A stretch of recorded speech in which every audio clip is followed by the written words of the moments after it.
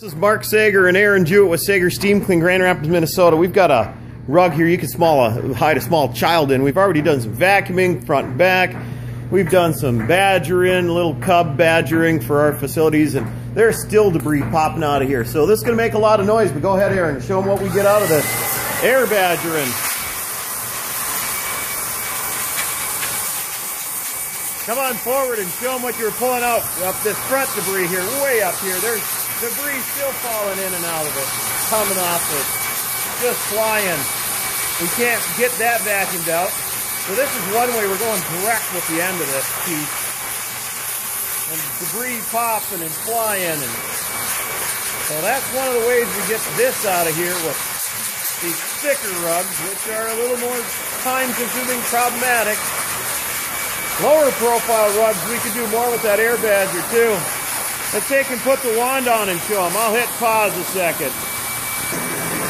All right, now we've got a wand hooked up to that badger there and we're blowing dust and pushing and pulling.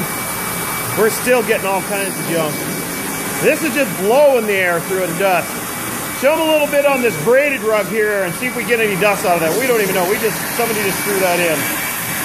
Not a lot of dust debris, but that's taking and blowing the air and the junk out. Be right with you with another one here. Show more dust. All right, we're back with you. We got another rug here. We're just doing some dusting on it. Pushing and blowing air. This is not cleaning the sucking. It's just dusting it off. It's not too bad. We're not getting a ton of debris. This is just one way we can help with the rugs.